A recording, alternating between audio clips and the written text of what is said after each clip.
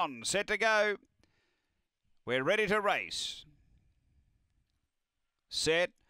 They're racing and speed Emma's will down near the inside. Emily Apollo's going quickly. Emily Apollo takes over from Emma's will. Uh, then Sophia Palms and they were followed by Tall Tales and Time Wise and right out the back is Springbrook. It ran wide there. Emily Apollo diving up is Tall Tales. Emily Apollo, Tall Tales went home too well. Beats Emily Apollo. Third Time Wise and Sophia Palms. Uh, then Emma's will and Springbrook. The time here is around 19 and 60 after the running of race number 10 and uh, the 8 will kick and win here on the inside of Emily Apollo. He cost himself the race out deep on the turn.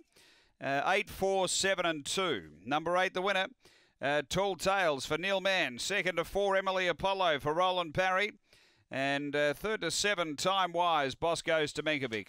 Numbers are 8, 4, 7, 2. Fourth after race 10 here at Angle Park.